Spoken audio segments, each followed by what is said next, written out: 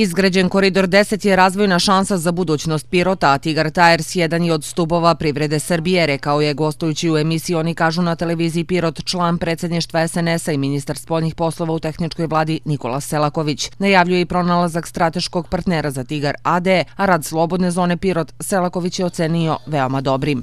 Tigar Tires kao stub u ovom trenutku, možemo reći, pirotske privrede i privrede ovog dela Srbije, slobodna zona Pirot kao najbolja slobodna zona u Evropi, mm -hmm.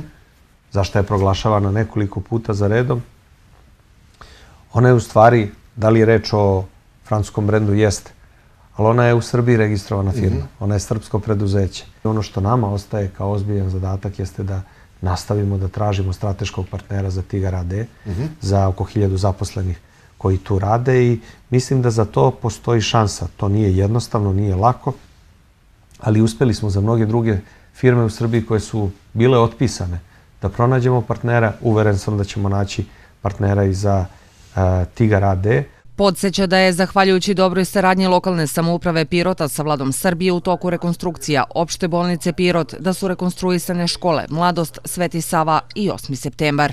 Naredna važna stvar, važan zadatak koji ne može Pirot sam da radi, već to radi država i u ime Piroćanaca i budućeg razvoja Pirota, to je dovođenje gasa. To je gasna diversifikacija između Bugarske i Srbije, koja je, kao što ste videli, počela da se gradi. Sledeća stvar jeste rekonstrukcija pruge Niš, Pirot Dimitrovgrad. Srpska napredna stranka ima tri važna cilja, istakao je Selaković. Reč je o očuvanju mira, stabilnosti i očuvanju ekonomskog rasta.